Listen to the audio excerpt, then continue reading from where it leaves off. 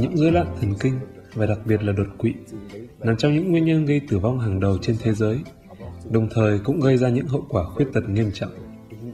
Rối loạn này chủ yếu xảy ra ở người già, tuy vậy không loại trừ người trẻ và thậm chí cả trẻ em.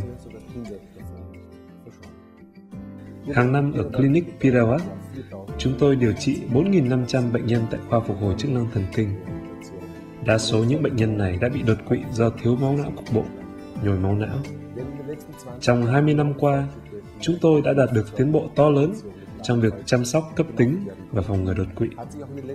Trong khi đó, hiểu biết về phục hồi chức năng thần kinh đã chuyển đổi mạnh mẽ trong vòng một thế kỷ trở lại đây. Trong phục hồi chức năng thần kinh, một nhóm chuyên gia liên ngành làm việc với bệnh nhân.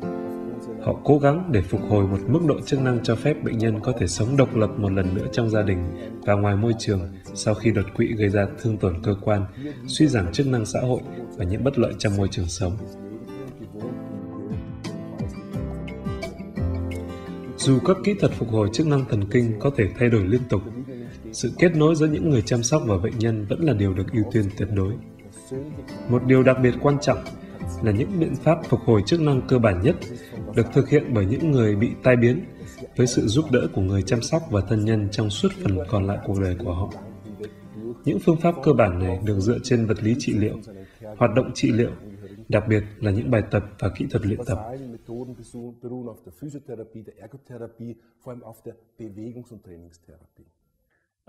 Cơn đột quỵ đầu tiên đến với tôi vào giữa tháng 10, khiến tôi phải nhập viện và trở về nhà sau 3 tuần.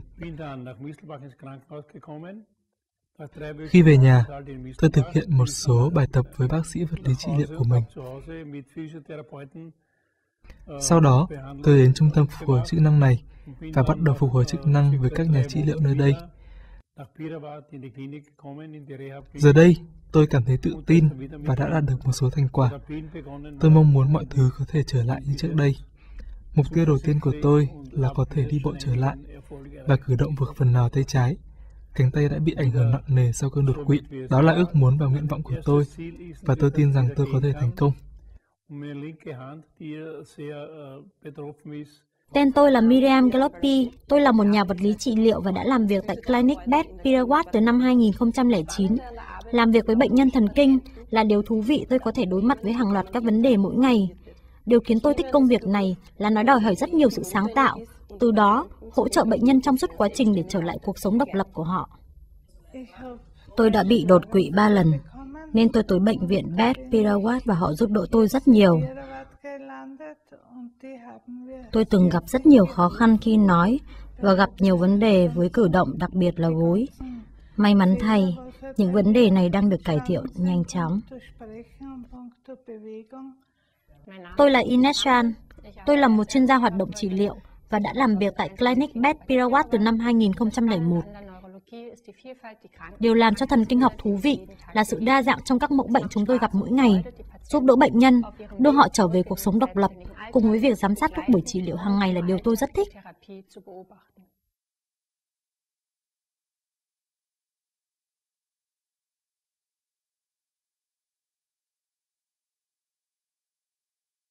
Ngay từ đầu, các kỹ thuật đặt vị thế cho bệnh nhân là rất quan trọng, giúp tạo thuận cho hoạt động của bệnh nhân, đặc biệt là đối với cảm giác của bệnh nhân, điều hòa trương lực cơ và phòng ngừa thương tật thứ cấp. Điều có thể, bệnh nhân cần chủ động thực hiện và thay đổi vị thế 2 giờ một lần. Nếu có một vài tấm nệm và một vài cây ghế để chuẩn bị cho việc đặt vị thế là lý tưởng nhất, bệnh nhân có thể nằm ngửa một cách dễ chịu hơn. Do vậy, có thể để bệnh nhân nằm trong một khoảng thời gian dài như khi họ đang ngủ. Nếu có bất kỳ vấn đề gì về hô hấp, cần nâng phần trên cơ thể của bệnh nhân lên cao hơn.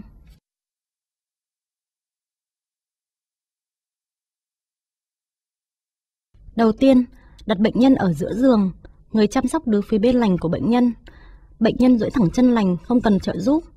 Người chăm sóc sẽ hỗ trợ nâng phần chân bị liệt lên bằng cách đặt tay vào hõm khoeo, gấp gối và nâng chân lên. Bây giờ, người chăm sóc sử dụng một tay để giữ lấy xương chậu bệnh nhân và xoay nó về phía mình. Người chăm sóc sử dụng tay còn lại để đặt một cái gối phía bên xương chậu bị liệt.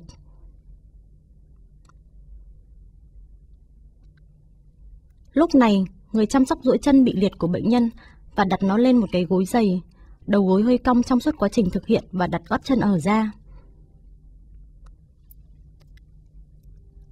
Sau đó, đặt tay bị liệt vào vị trí. Người chăm sóc giữ phía dưới xương bả vai và đặt vai lên một cái gối ở vị trí nằm dọc về phía trước.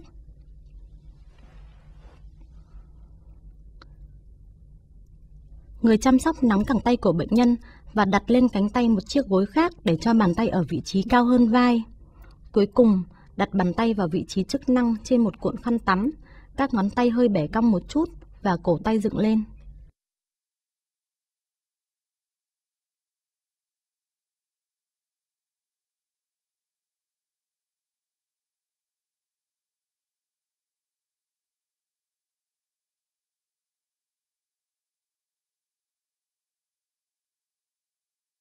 Người chăm sóc đứng phía bên liệt của bệnh nhân, thả lỏng vai bên liệt ra phía trước bằng cách sau.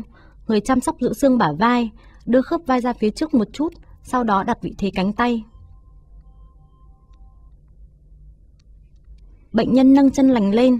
Bước tiếp theo, người chăm sóc giữ xương bả vai và xương chậu phía bên lành và giúp xoay toàn bộ khối cơ thể sang phía bên liệt. Chân lành hơi gấp nhẹ và được tựa lên một cái gối. Chân liệt được duỗi thẳng tại khớp háng và khớp cổ chân gập. Vai bên liệt được đặt ở tư thế xương bả vai đưa ra phía trước, cánh tay hơi gấp và xoay ra ngoài, cánh tay được đặt trên một tấm nệm.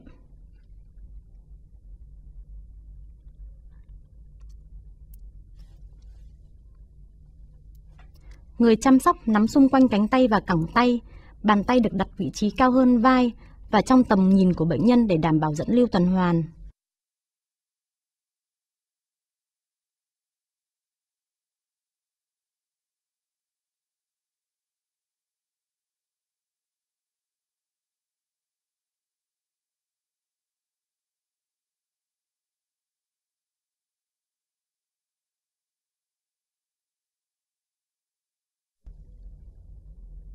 Người chăm sóc đứng phía bên lành của bệnh nhân. Bệnh nhân tự nắm cổ tay bị liệt bằng tay lành. Ngón tay cái của bàn tay lành đặt trong lòng bàn tay bên liệt. Điều này giúp ổn định cổ tay. Chân bên liệt được đưa lên như trong bài tập 1.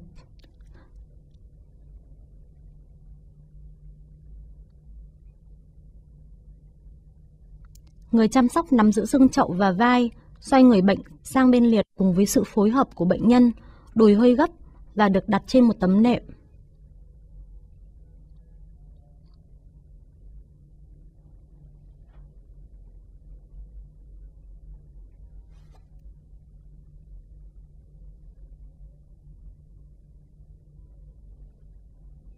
Người chăm sóc nắm giữ cánh tay và cẳng tay, đặt cánh tay lên một cái gối trong tầm nhìn ở phía trước mặt của bệnh nhân.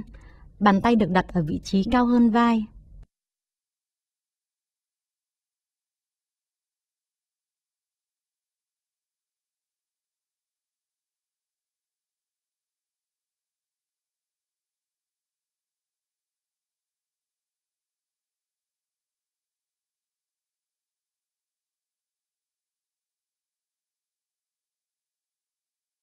Mục đích của việc hướng dẫn vận động chi là để kích thích tuần hoàn máu, ngăn ngừa co rút các khớp, tập cảm giác cho vận động và trợ giúp sớm cho các rung động vận động đầu tiên. Sau khi được hướng dẫn thực hiện các bài tập, bệnh nhân cần chủ động thực hiện các bài tập này càng nhiều càng tốt và chủ động nghĩ về nó. Đặc biệt, khi những chức năng chưa kịp hồi phục trở lại, người chăm sóc đưa ra hướng dẫn bằng giọng nói to và rõ ràng. Người chăm sóc tập luyện các khớp theo thứ tự từ lớn đến nhỏ. Ví dụ, như từ khớp háng đến bàn chân hoặc từ khớp vai đến bàn tay. Các vận động với nhịp chậm và được lặp lại nhiều lần. Tuy nhiên, những vận động này không được gây đau đớn hoặc gắng sức cho người bệnh.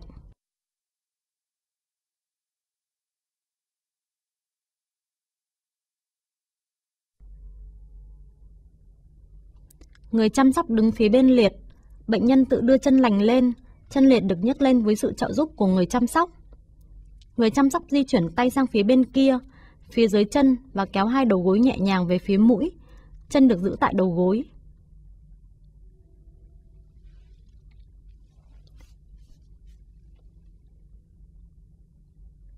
Bây giờ, người chăm sóc di chuyển hai chân luân phiên sang bên trái và sang bên phải để làm cho cột sống nghiêng ra ngoài. Tay còn lại đỡ vùng cột sống thắt lưng.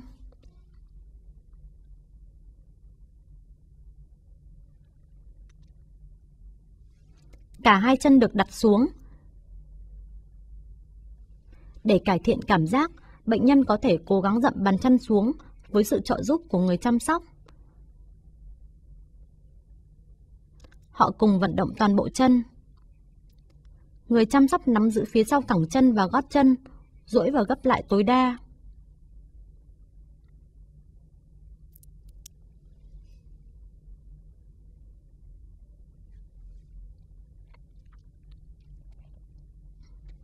Theo, người chăm sóc quay khớp háng 90 độ, vận động ở tư thế gấp.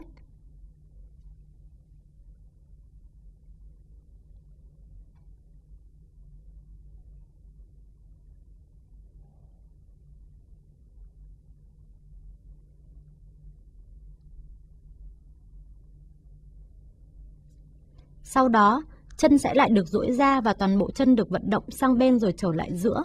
Những vận động này rất quan trọng trong việc điều chỉnh trương lực cơ.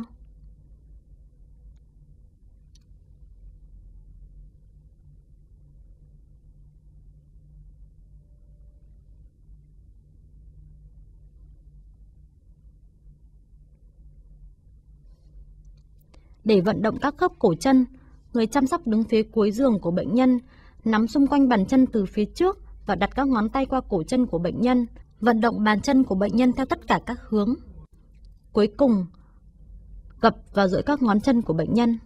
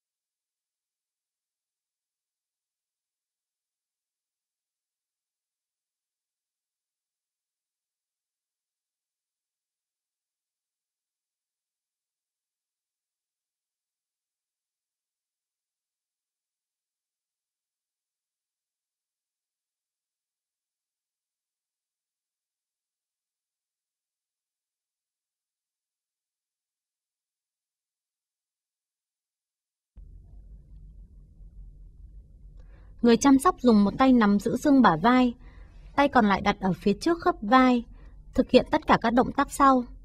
1. Đưa vai lên trên về phía tai và hạ xuống dưới.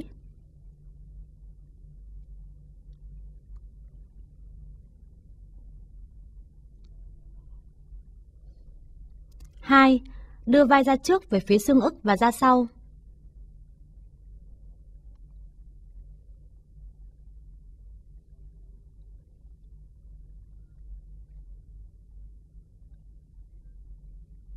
3. Chuyển động xoay tròn để phối hợp tất cả các hướng.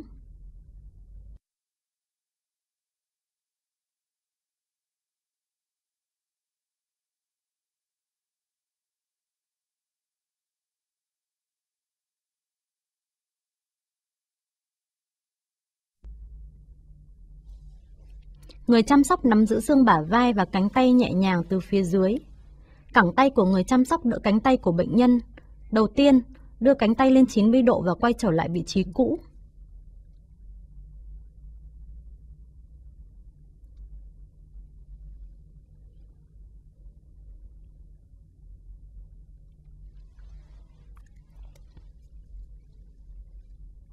Sau đó, đưa cánh tay ra phía bên cũng với một góc 90 độ.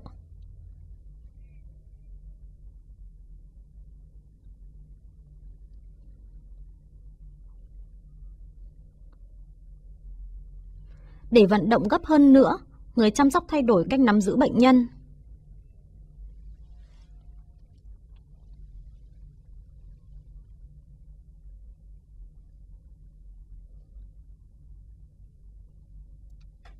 Người chăm sóc dùng bàn tay nắm xung quanh cổ tay của bệnh nhân và dùng cẳng tay để cố định cẳng tay của bệnh nhân và sử dụng tay còn lại để cố định khớp vai từ phía trên.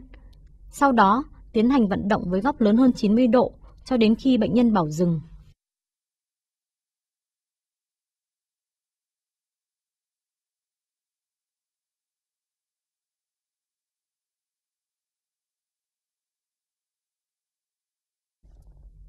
Người chăm sóc dùng một tay cố định cánh tay của bệnh nhân tại khuỷu tay và dùng tay còn lại để giữ cẳng tay đoạn gần cổ tay. Khi gặp khuỷu tay, đưa bàn tay bệnh nhân luân phiên lên chán, tai và miệng. Điều này tạo ra vận động gấp và duỗi cổ khuỷu tay, tạo ra một liên kết chức năng.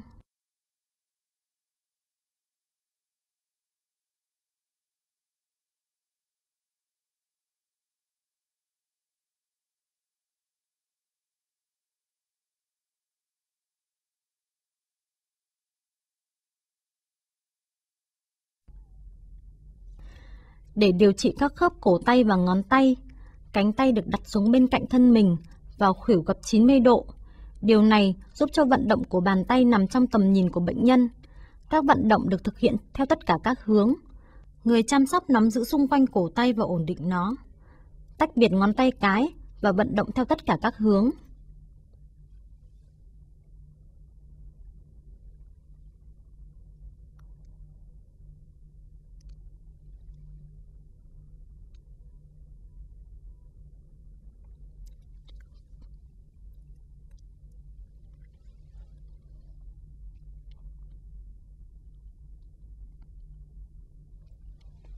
Cuối cùng, vận động gập và duỗi các khớp ngón tay. Một tay của người chăm sóc giữ cổ tay, tay còn lại nắm xung quanh các ngón tay.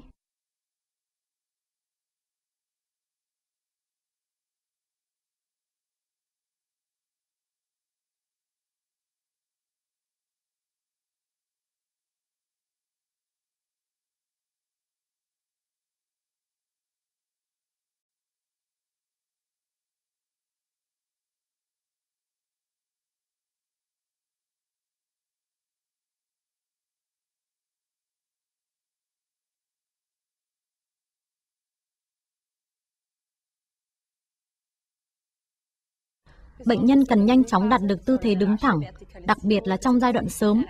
Mục đích của bài tập này là để bệnh nhân có thể nhanh chóng vận động ở tư thế ngồi bên cạnh giường và tư thế đứng thẳng. Vị thế đứng thẳng có ảnh hưởng tích cực đến tuần hoàn máu và trương lực cơ, đặc biệt là ở chân. Tư thế ngồi và đứng giúp tạo thuận cho hoạt động tự động, thúc đẩy sự độc lập của bệnh nhân và tham gia vào những hoạt động hàng ngày của họ. Bệnh nhân bắt đầu ở tư thế nằm ngửa trên giường. Chú ý, cần khoảng cách từ bệnh nhân đến thành giường phải hợp lý.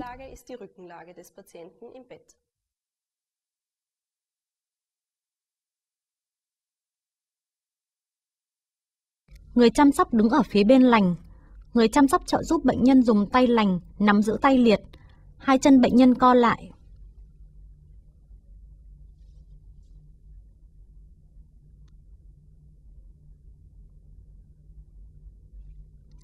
Xoay cơ thể bệnh nhân thành một khối, lăn qua phía bên lành. Chân lành móc phía dưới chân liệt và đẩy nó ra mép giường.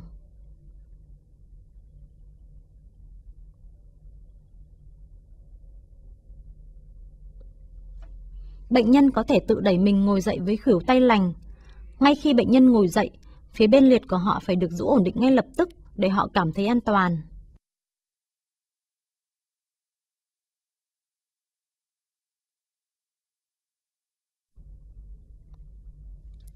Đưa tay liệt ra phía trước.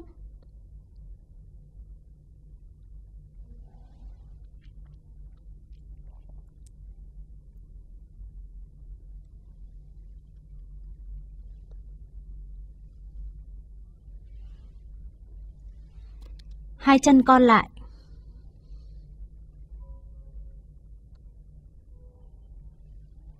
Xoay cơ thể thành một khối lăn qua phía bên liệt. Chân lành móc phía dưới chân bị liệt và đẩy nó ra mép giường. Bệnh nhân có thể tự đẩy mình ngồi dậy với bàn tay lành. Ngay khi bệnh nhân ngồi dậy, phía bên liệt của họ phải được giữ ổn định ngay lập tức để họ cảm thấy an toàn. Thả lỏng chân được móc.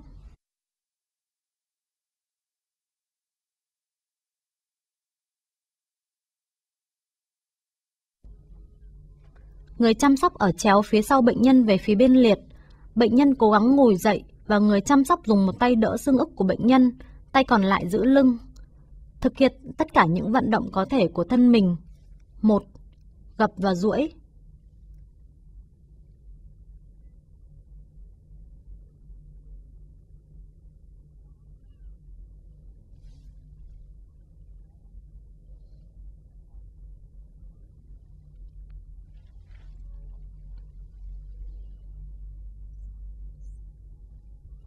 2.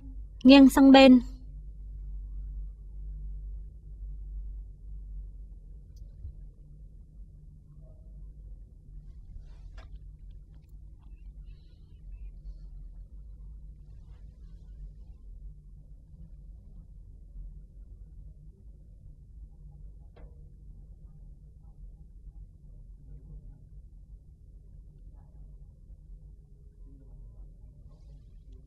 Ba Xoay sang hai bên.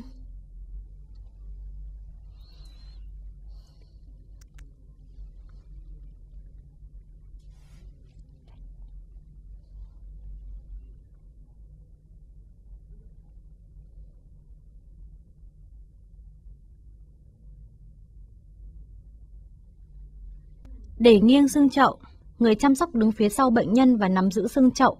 Sau đó, thực hiện động tác nghiêng xương chậu. 1. Về phía sau, tạo thành trạng thái gù. 2. Đưa ra phía trước và phía sau, tạo thành hồ lõm ở phía lưng.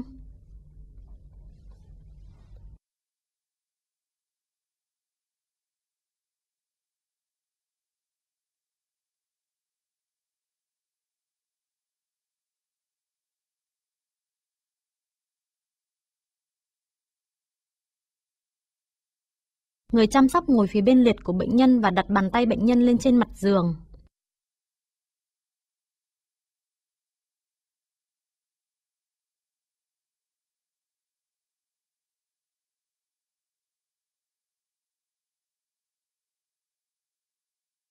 Người chăm sóc giữ khuỷu tay và bàn tay bên liệt của bệnh nhân.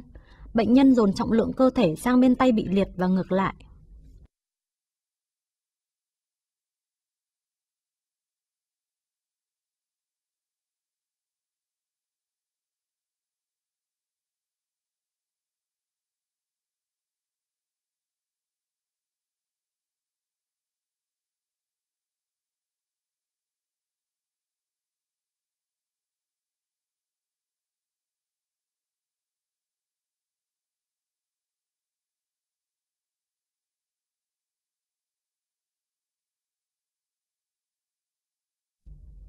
Người chăm sóc ngồi phía bên liệt của bệnh nhân. Bệnh nhân dùng bàn tay lành nắm chặt bàn tay liệt. Người chăm sóc dùng một bàn tay giữ cẳng tay bệnh nhân, đoạn gần khuỷu tay. Đặt tay còn lại lên lưng của bệnh nhân để hướng dẫn vận động và ổn định vị trí.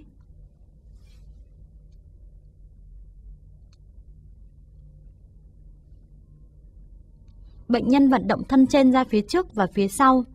Chân người chăm sóc giữ ổn định gối hoặc bệnh nhân từ phía trước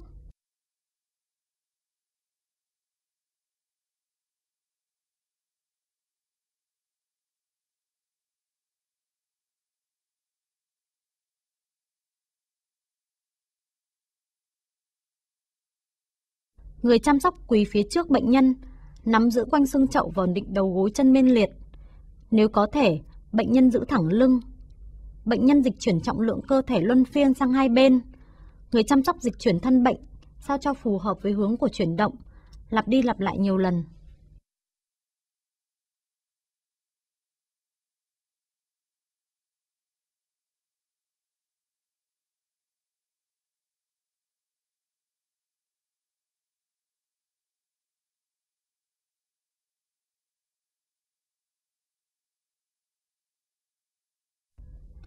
Khi cho bệnh nhân đứng lên, bệnh nhân phải cảm thấy an toàn. Người chăm sóc phải đứng gần bệnh nhân. Bàn chân bệnh nhân phải được đặt lùi ra phía sau vừa đủ, áp sát với mặt sàn. Nếu bàn chân bệnh nhân ở phía trước quá xa, bệnh nhân không thể chuyển trọng tâm lên phía chân đế, khiến việc đứng lên trở nên khó khăn hơn. Chú ý đến trình tự và nhịp điệu chính xác khi đứng lên. Điều cần lưu ý là phần trên thân phải nghiêng về phía trước để tạo áp lực lên bàn chân. Việc đứng lên cần được thực hiện từ các độ cao khác nhau. Füße zu bekommen.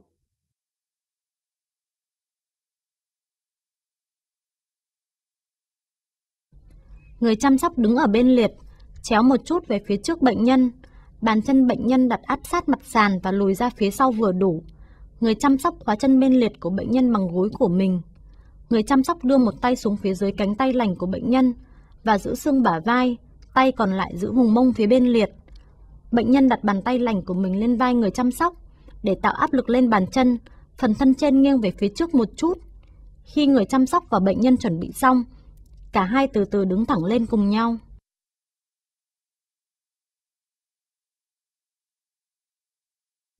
Những bước này sẽ được thực hiện ngược lại để bệnh nhân ngồi xuống vị trí cũ. Việc nghiêng thân trên về phía trước là đặc biệt quan trọng để kiểm soát bệnh nhân trở lại tư thế ngồi.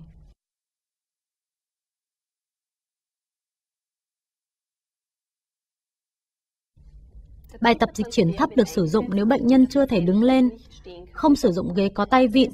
Các ghế ngồi phải cao ngang nhau. Nếu có chênh lệch về độ cao, có thể thay bằng gối hoặc cái gì đó tương tự. Đầu tiên, sự dịch chuyển bắt đầu từ bên lành. Điều này giúp bệnh nhân được ngồi ở phía mà họ cảm thấy an toàn hơn. Điều quan trọng là bệnh nhân phải luôn cảm thấy an toàn mỗi khi dịch chuyển. Chi tiết của bài tập dịch chuyển thấp qua phía bên liệt được ghi trong cẩm nang.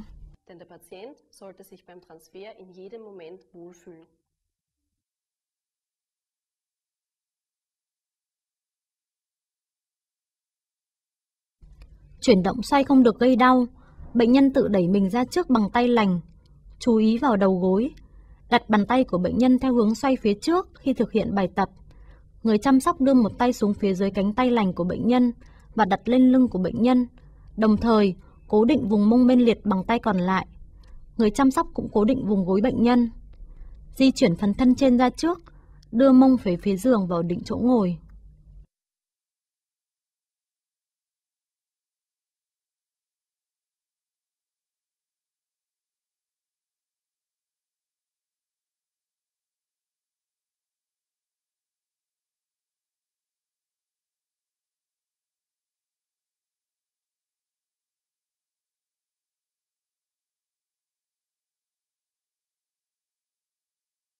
Bệnh nhân đặt bàn chân theo hướng xoay trước khi thực hiện bài tập.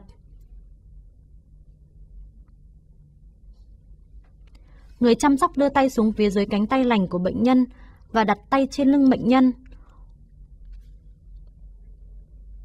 Cố định vùng mông bên liệt bằng tay còn lại. Di chuyển phần thân trên ra phía trước và dịch chuyển mông về phía bị liệt sang ghế. Ghế cần phải cố định, phòng trường hợp bị trượt.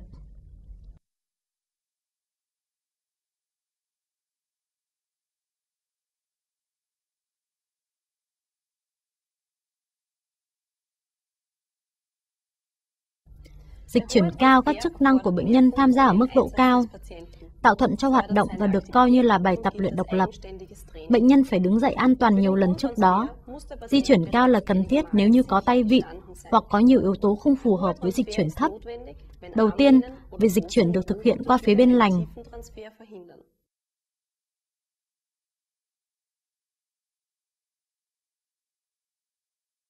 Để tạo thuận cho đứng lên, Bàn chân bệnh nhân phải đặt đủ xa ra phía sau. Người chăm sóc dùng gối của mình khóa gối bên liệt của bệnh nhân. Người chăm sóc đưa một tay xuống phía dưới cánh tay lành của bệnh nhân. Người chăm sóc đưa một tay xuống dưới cánh tay lành của bệnh nhân và giữ xương bả vai, tay còn lại giữ mông phía bên liệt. Bệnh nhân có thể vịn vào lưng của người chăm sóc bằng tay lành.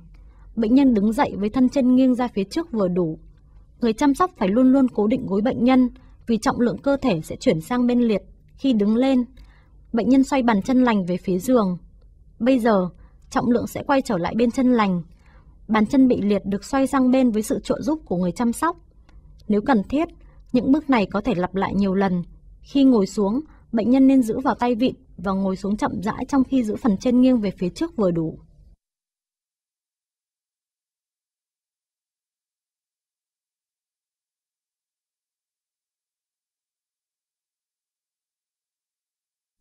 Việc tạo thuận cho những hoạt động chi trên một cách hiệu quả nhất khi bệnh nhân ở tư thế ngồi thẳng, mục đích nhằm làm cho các hoạt động chức năng và hoạt động thường ngày trở nên dễ dàng hơn.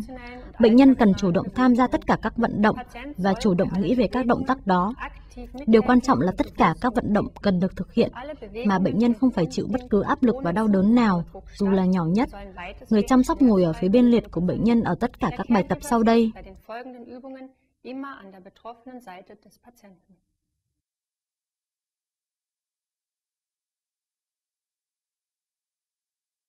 Bệnh nhân ngồi thẳng nhất có thể trên một chiếc giường cao hoặc ghế.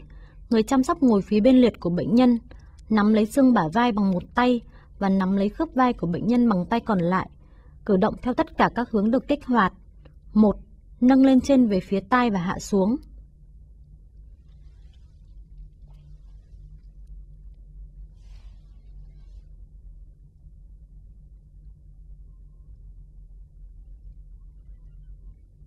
2.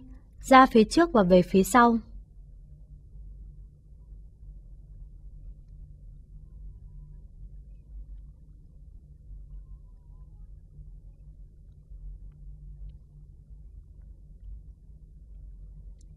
ba, Và chuyển động tròn để kết hợp lại tất cả các cử động.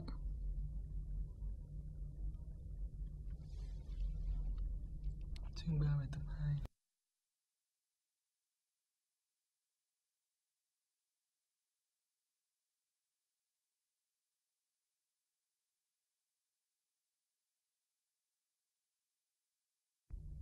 Tầm vận động nhỏ ban đầu có thể được tăng lên dần dần.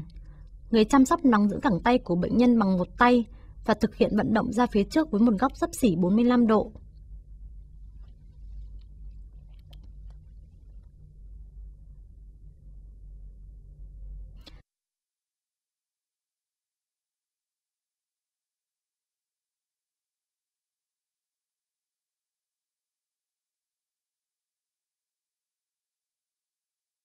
Để tăng tầm vận động lên 90 độ, người chăm sóc đứng sang bên cạnh bệnh nhân.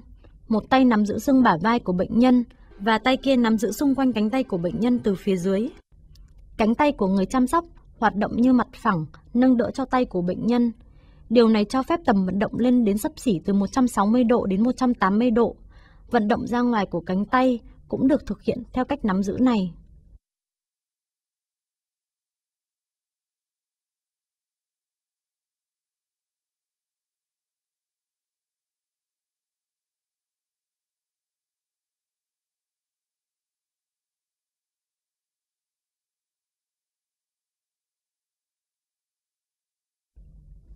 Người chăm sóc một tay giữ cánh tay và tay kia nắm giữ cẳng tay của bệnh nhân. Phần cánh tay hay đúng hơn là khửu tay được gập lại và duỗi ra. Các bài tập cho các hoạt động hàng ngày bao gồm cử động tay về phía miệng, mũi và chán.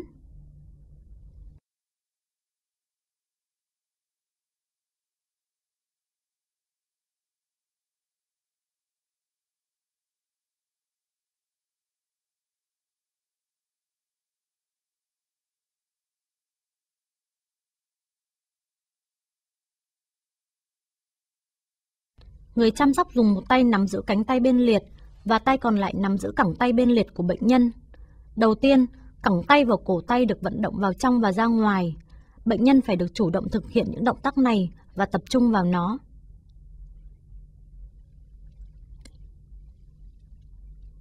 Người chăm sóc nắm lấy phía trước cẳng tay gần với cổ tay và vận động bàn tay bệnh nhân lên trên và xuống dưới.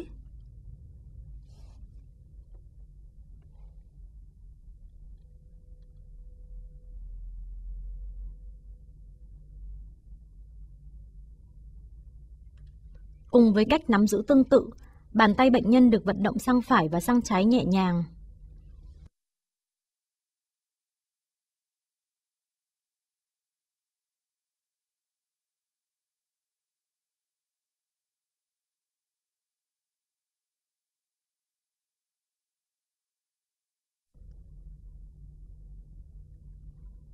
Người chăm sóc ngồi ở bên bị liệt của bệnh nhân, một tay giữ chắc cổ tay của bệnh nhân, tay kia thả lỏng xung quanh ngón tay cái của bệnh nhân và vận động ngón tay cái theo một vòng lớn từ trên xuống dưới.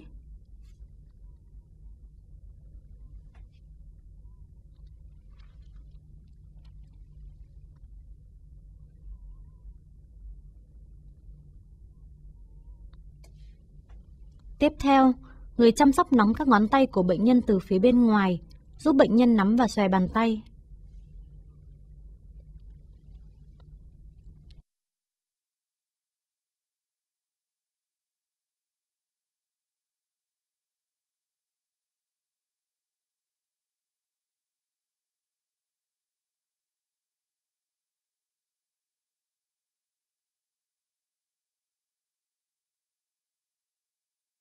Bệnh nhân ở tư thế ngồi, cố gắng tự mặc áo cho mình. Lúc này, ống tay áo phía bên tay liệt đặt ở trên đùi bệnh nhân.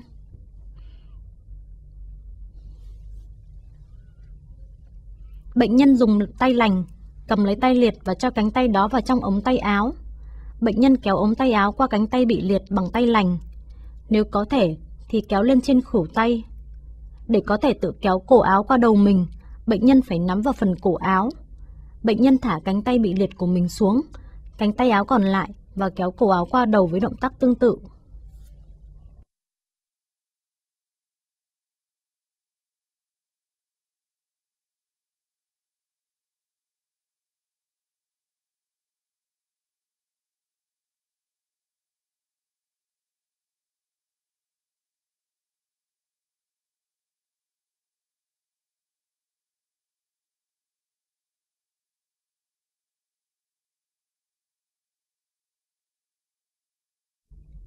Quần dài được đặt trong tầm với. Bệnh nhân vắt chéo chân bị liệt lên và kéo quần qua bàn chân bị liệt.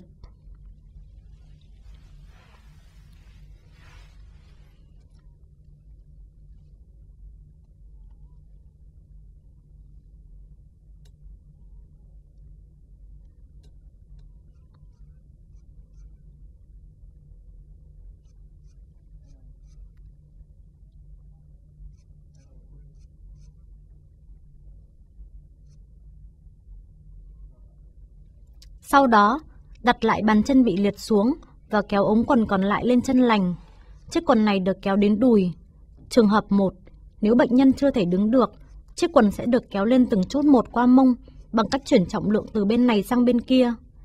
Trường hợp 2, nếu bệnh nhân có thể đứng được một lúc, bệnh nhân sẽ đứng lên và dùng tay lành kéo quần qua mông.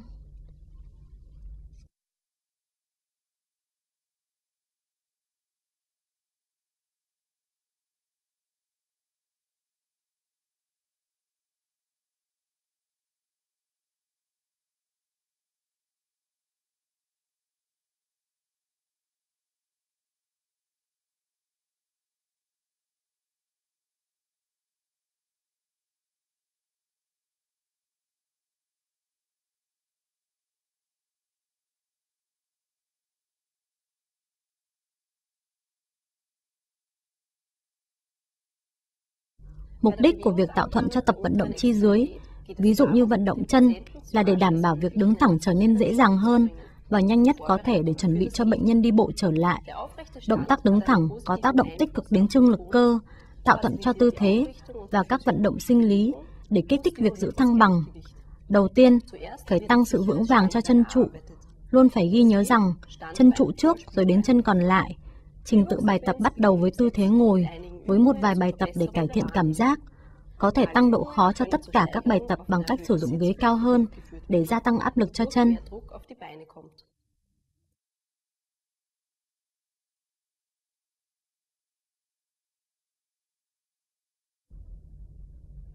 Người chăm sóc trợ giúp chân bằng cách nắm lấy đùi và bàn chân của bệnh nhân. Sau đó, bệnh nhân bắt đầu dậm mạnh bàn chân xuống sàn nhà cùng với sự trợ giúp của người chăm sóc.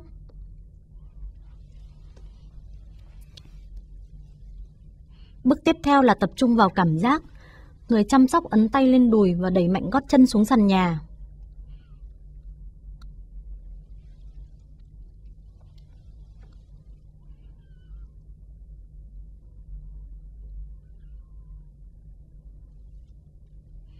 Bài tập tiếp theo giúp bệnh nhân thư giãn cơ. Người chăm sóc nâng chân liệt lên, vài cm so với sàn nhà và thả ra. Bệnh nhân phải cảm nhận thấy điều này.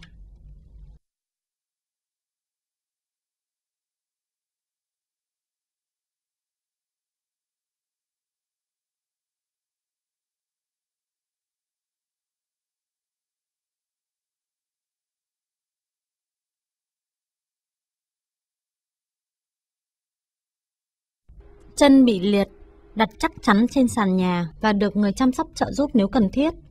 Yêu cầu bệnh nhân nâng chân lành về phía mũi. Trong quá trình này, người chăm sóc sẽ cố định chân liệt.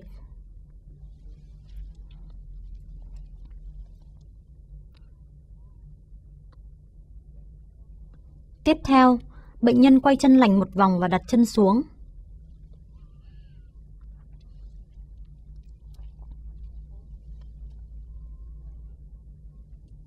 Sau đó, bệnh nhân dùng chân vẽ một vòng lớn về phía bên ngoài và đặt chân về vị trí cũ.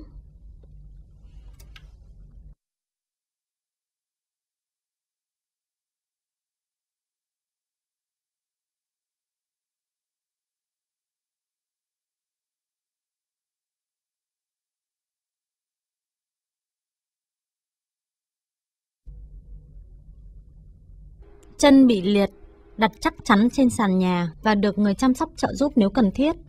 Yêu cầu bệnh nhân nâng chân lành về phía mũi. Trong quá trình này, người chăm sóc sẽ cố định chân liệt.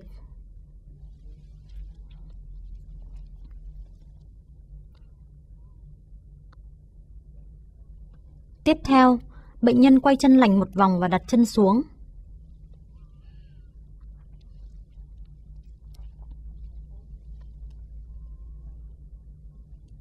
Sau đó, bệnh nhân dùng chân vẽ một vòng lớn về phía bên ngoài và đặt chân về vị trí cũ.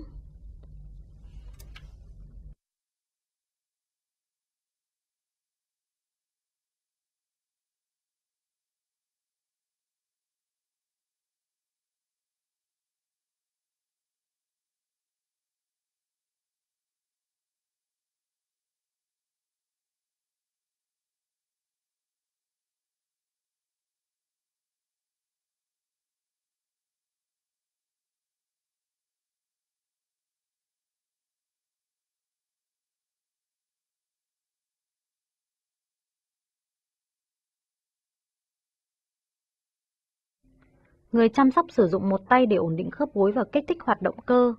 Tay còn lại giữ quanh vùng xương chậu. Bàn tay liệt của bệnh nhân được treo lên trên hoặc quàng qua vai của người chăm sóc.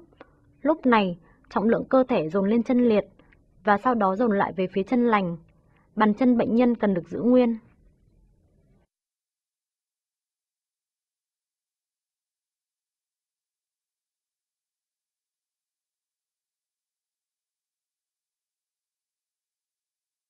Để tăng cường độ của bài tập, bệnh nhân tập bước lên phía trước và ra sau với chân lành.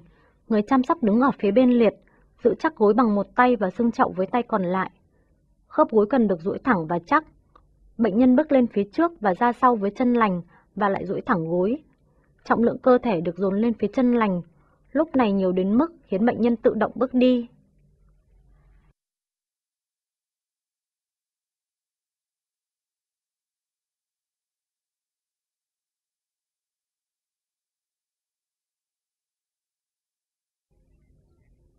Chân liệt được đặt ở phía trước để thay đổi vị trí khởi phát. Lúc này, bệnh nhân phải đưa chân liệt lên phía trước, duỗi thẳng, bước lên trước và quay trở lại phía sau chân liệt. Bệnh nhân chuyển trọng lượng lại về phía trước và bước về bằng sau một bước lớn. Hai bàn chân lúc này được đặt bên cạnh nhau.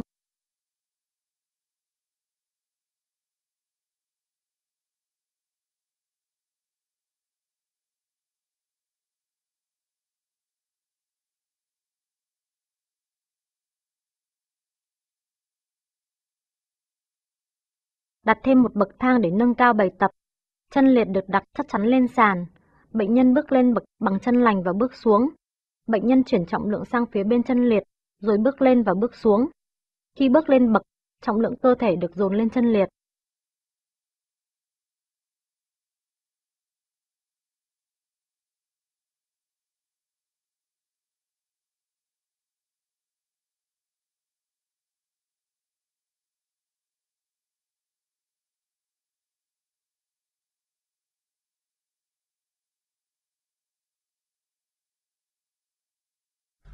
Bệnh nhân bắt đầu ở tư thế bước đi, với chân liệt ở đằng trước. Người chăm sóc một tay nắm quanh phần xương chậu và đặt tay còn lại vào hõm khoeo.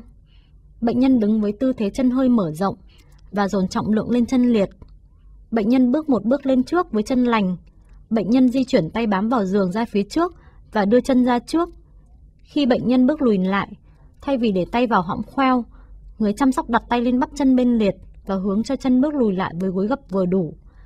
Bệnh nhân lúc này có thể chuyển lại trọng lượng cơ thể ra trước, bước lên trước và lùi lại sau với chân liệt.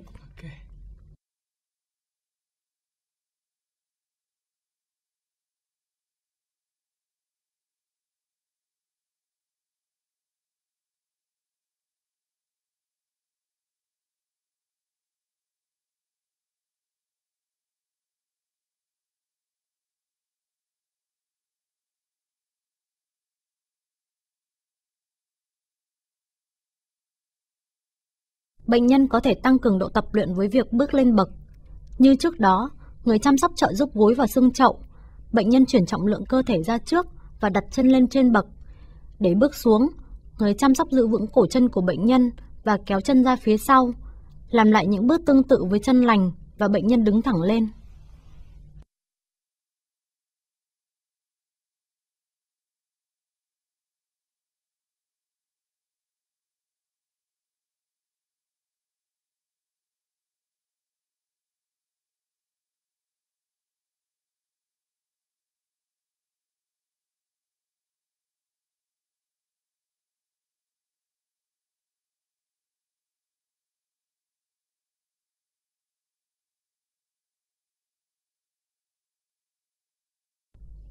Như trước đó, người chăm sóc giữ ổn định bệnh nhân bằng cách giữ gối ở pha trống và hõm khoeo, ở pha đung đưa.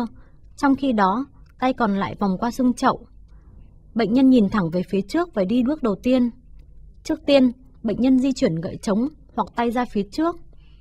Người chăm sóc trợ giúp gối bên liệt khi bệnh nhân dồn trọng lượng cơ thể và giữ ổn định phía bên liệt khi bệnh nhân bước về phía trước.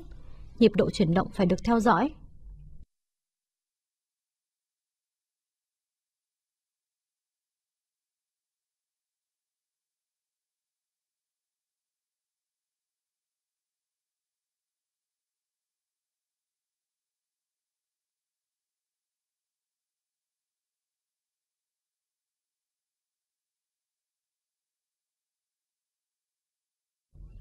Người chăm sóc giữ gối bệnh nhân bằng một tay và giữ xương chậu với tay còn lại. Khi đi xuống cầu thang, chân liệt đi trước để chân lành có thể phanh lại tốt hơn. Người chăm sóc có thể dùng gối của mình để giữ gối của bệnh nhân. Khi lên cầu thang, chân lành đi trước và chân liệt theo sau với sự trợ giúp của người chăm sóc. Khớp gối lúc này được ổn định trở lại.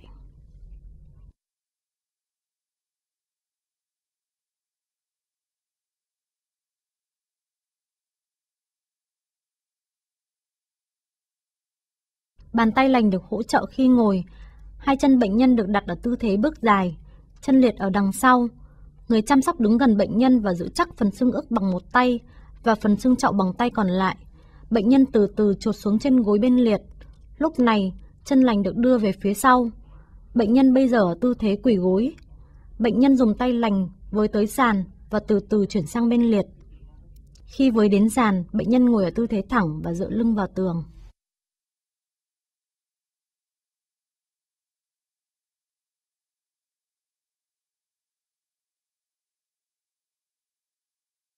Bệnh nhân tự hỗ trợ bằng tay lành và đẩy mình lên vào tư thế quỳ. Người chăm sóc trợ giúp bằng cách giữ xương ức.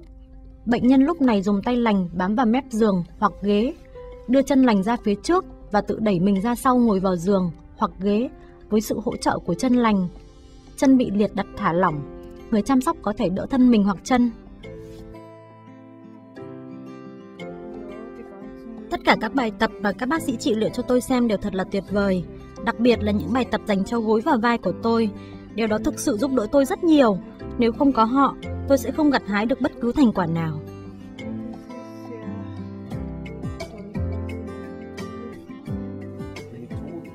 Các liệu pháp phục hồi chức năng luôn được dựa trên sự phối hợp giữa một nhà trị liệu tài năng và một bệnh nhân có động lực lớn. Sử dụng đúng liệu pháp với đúng bệnh nhân tại đúng thời điểm, với mức độ và cường độ hợp lý là cách tốt nhất để biết được khả năng phục hồi chức năng của các cơ quan của bệnh nhân.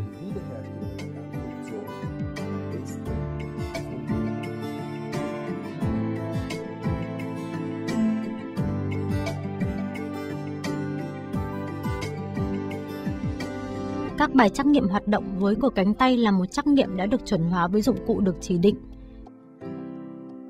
Những tiểu mục phụ như việc nắm vật lớn, nắm vật nhỡ, nắm vật nhỏ được thực hiện bởi bệnh nhân và được đánh giá bởi người chăm sóc. Bệnh nhân ngồi cạnh bàn, công cụ khác nhau tùy theo các tiểu mục và được người chăm sóc chuẩn bị. Trắc nghiệm được thực hiện ở cả hai tay. Nếu như có thể thực hiện được mục nhỏ đầu tiên một cách bình thường, bệnh nhân sẽ nhận được điểm tối đa trong mục đó nếu như không thể thực hiện được mục nhỏ đầu tiên này, bệnh nhân sẽ nhận điểm không. Các mục nhỏ khác vẫn phải được thực hiện trong bất cứ trường hợp nào.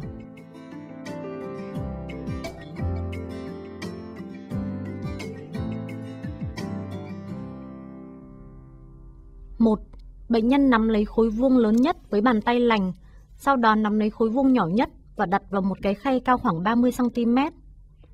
3 điểm là bình thường. Bệnh nhân nắm lấy khối vuông lớn nhất với bàn tay liệt và đặt nó lên khay cao. Hai điểm có thể làm được nhưng chậm và gặp khó khăn.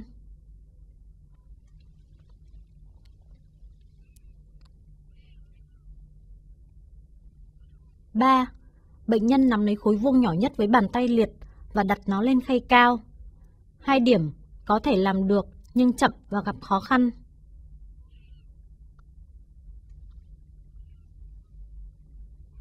4.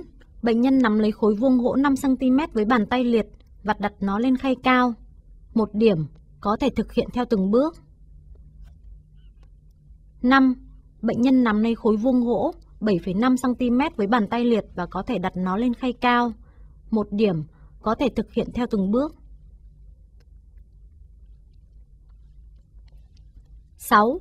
Bệnh nhân nắm lấy quả bóng với bàn tay liệt, đặt nó lên khay cao.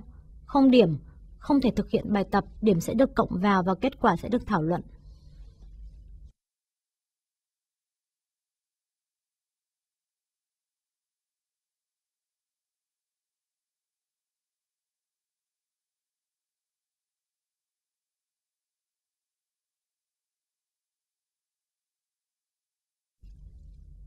một Bệnh nhân đổ đầy nước từ cốc này sang cốc khác với tay lành. 3 điểm, bình thường. 2. Bệnh nhân đổ đầy nước từ cốc này sang cốc khác với tay liệt. 3 điểm, bình thường. Tiếp tục với tiểu mục tiếp theo.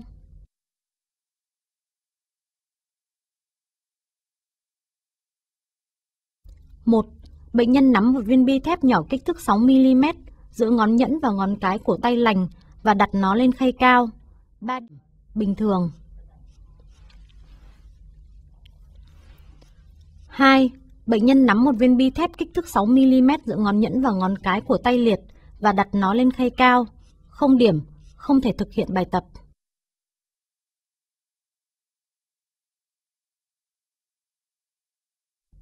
D. Các vận động thô 1. Bệnh nhân đặt tay lành ra đằng sau đầu, lên trên đầu và đến miệng. 2. Bệnh nhân đặt tay liệt ra đằng sau đầu, lên trên đầu và đến miệng.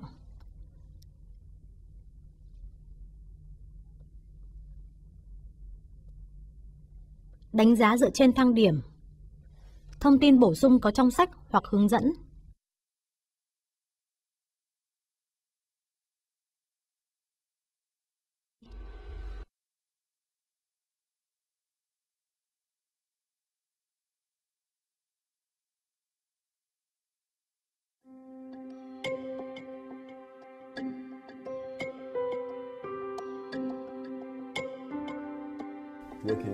Những hiểu biết mới trong lĩnh vực tái tạo thần kinh và tính mềm dẻo thần kinh đã mang đến sự thay đổi trong các khái niệm về phục hồi chức năng trong những năm gần đây. Người ta tập trung mạnh hơn vào tần số các chuyển động lặp đi lặp lại, cũng như với cường độ cao để thúc đẩy tối đa tính mềm dẻo thần kinh.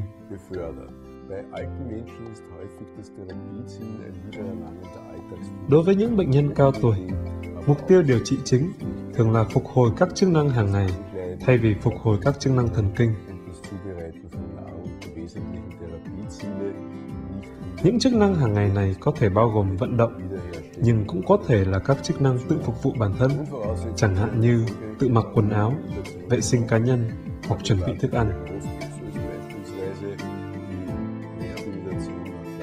Một yêu cầu quan trọng cho sự thành công của các biện pháp phục hồi chức năng là chẩn đoán kỹ lưỡng. Ví dụ, khả năng phục hồi chức năng sau đột quỵ phụ thuộc vào lưu lượng tuần hoàn bàng hệ đến một vùng não rộng.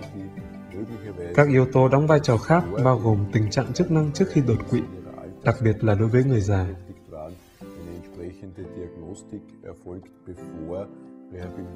Những người có chức năng hàng ngày đã bị ảnh hưởng cần có khám lượng giá lão khoa sâu rộng trước khi đưa ra bất kỳ biện pháp phục hồi chức năng nào. Quá trình lượng giá cần bao gồm kiểm tra các chức năng sống hàng ngày, khả năng phục hồi thể chất cũng như sức mạnh tinh thần để đáp ứng các biện pháp phục hồi chức năng liên quan. Sự kỳ vọng cao hay thấp đều ảnh hưởng đến sự thành công của việc phục hồi chức năng của bệnh nhân.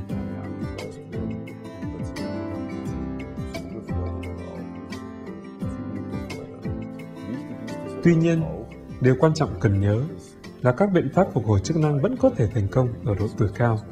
Vì thế, phải loại bỏ giới hạn độ tuổi cho việc phục hồi chức năng.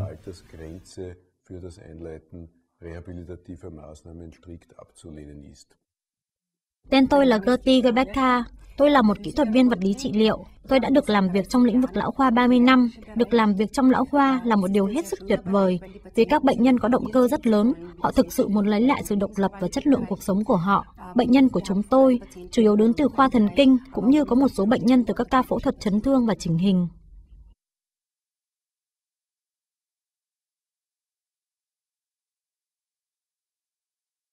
Khi người cao tuổi không vận động trong một thời gian dài, họ thường bị biến chứng thứ phát bên cạnh các vấn đề về thần kinh, chẳng hạn như loét do tỳ đè, viêm phổi và huyết khối tĩnh mạch. Hơn nữa, khi họ mất đi sức lực và chỉ nằm liệt trên giường hàng ngày, không vận động cả những vùng không bị liệt. Kết luận, phục hồi chức năng cho người già chủ yếu nhằm mục đích giúp họ vận động được nhanh chóng, bao gồm việc sử dụng các biện pháp trợ giúp và có thể là các phương pháp bù trừ.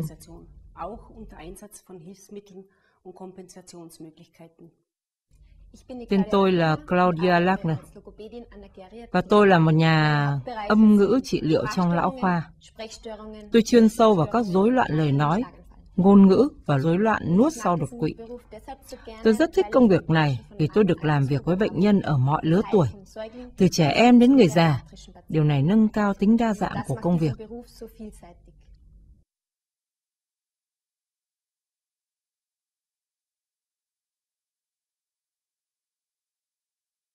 Rối loạn nuốt xảy ra rất bất ngờ sau một cơn đột quỵ.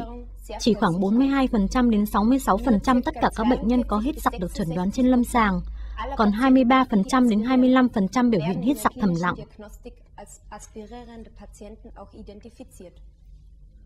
Chứng rối loạn nuốt là gì? Nó là trạng thái khi chất lỏng, thức ăn hoặc thậm chí nước bọt hay dịch tiết không thể được vận chuyển an toàn từ miệng qua thực quản đến dạ dày. Thay vào đó, những thứ trên lại đi vào đường hô hấp, gây hít sặc.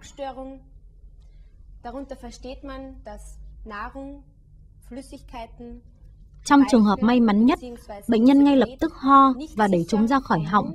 Đây là phản ứng tự bảo vệ của phổi để loại bỏ những tác nhân bên ngoài. Tuy nhiên, Điều này không xảy ra ở bệnh nhân không có phản ứng gì trong khi hít sặc thầm lặng. Kết quả là điều này không thể nhìn thấy được từ bên ngoài. Nó dần đến nguy cơ hít sặc gây nhiễm trùng phổi và trong trường hợp nặng, nó có thể gây tử vong.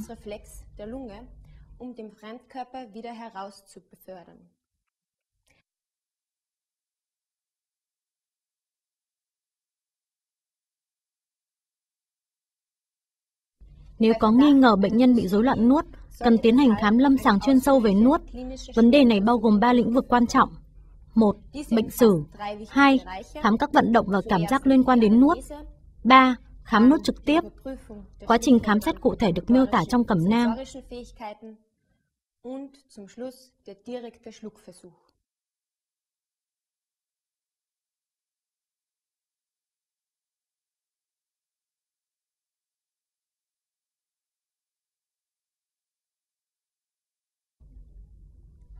Mỗi khi nuốt, cần chú ý đến những dấu hiệu bị sặc. Nếu như không phát hiện triệu chứng nào, tiếp tục kiểm tra lần nuốt tiếp theo. Các triệu chứng lâm sàng của hít sặc bao gồm ho hoặc hắt hơi trong khi nuốt hoặc sau khi nuốt tối đa 3 phút. Cũng cần đánh giá qua âm sắc giọng nói. Nếu giọng trong thì là triệu chứng kín đáo, khó phát hiện. Nếu giọng bị khàn hoặc mờ, đó là triệu chứng bệnh lý và dễ nhận thấy. Kiểm tra hô hấp và đánh giá cả tiếng thở. Nên khuyến khích người bệnh ho trong quá trình khám, sau khi đánh giá, chuyên gia âm ngữ sẽ đề xuất một chế độ ăn hợp lý để đảm bảo quá trình nuốt an toàn cho người bệnh.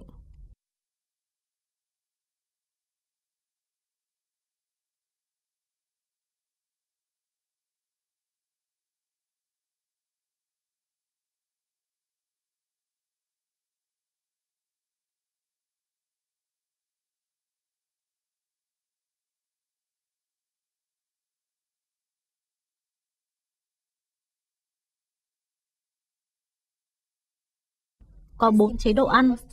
Thứ nhất là thức ăn nhão, đồ ăn được xay nhuyễn.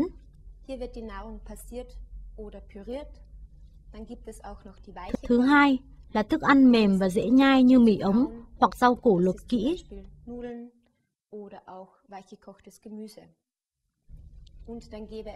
Thứ ba là thức ăn mềm không có phụ gia hoặc các thành phần chất rắn như súp đặc hoặc súp kem.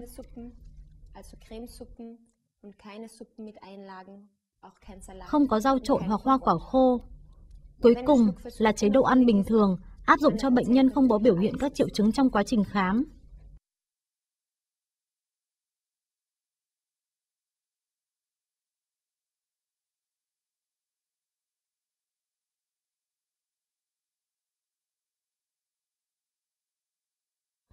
Tôi là Christine Kern. Tôi là một nhà âm ngữ trị liệu trong lĩnh vực lão khoa. Ở đây tôi điều trị các rối loạn nuốt cũng như rối loạn ngôn ngữ, lời nói sau đột quỵ và những bệnh nhân thần kinh khác. Ăn uống và khả năng giao tiếp rất quan trọng đối với tất cả mọi người và tôi muốn được giúp đỡ bệnh nhân của tôi làm những việc đó.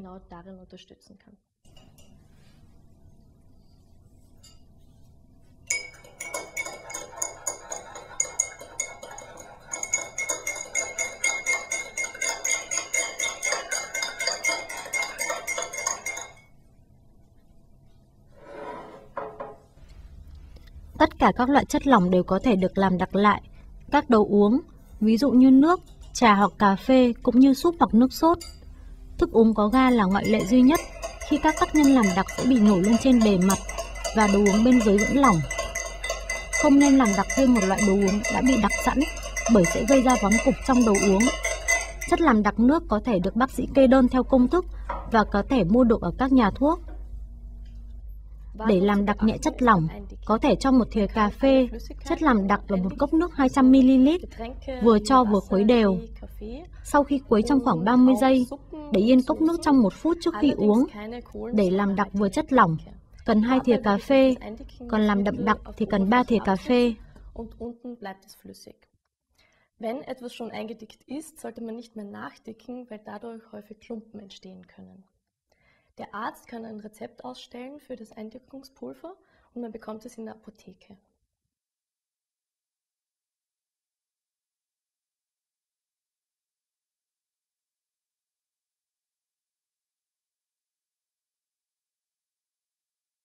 Bệnh nhân cúi, đưa cầm xuống ngực khi nuốt.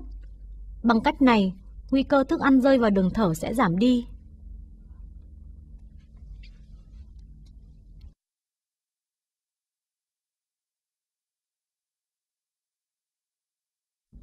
Trong trường hợp liệt nửa người, bệnh nhân quay đầu về phía bên liệt trước khi nuốt, giữ nguyên đầu ở tư thế đó khi nuốt. Tác dụng của bài tập xoay đầu là đưa thức ăn sang phía bên lành.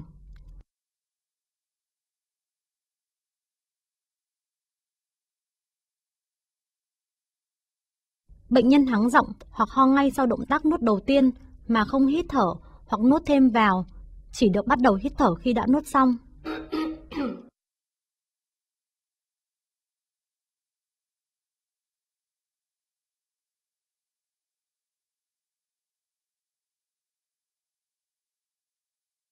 Ngoài việc nín thở, bệnh nhân còn phải siết chặt các cơ hô hấp và cơ thành bụng.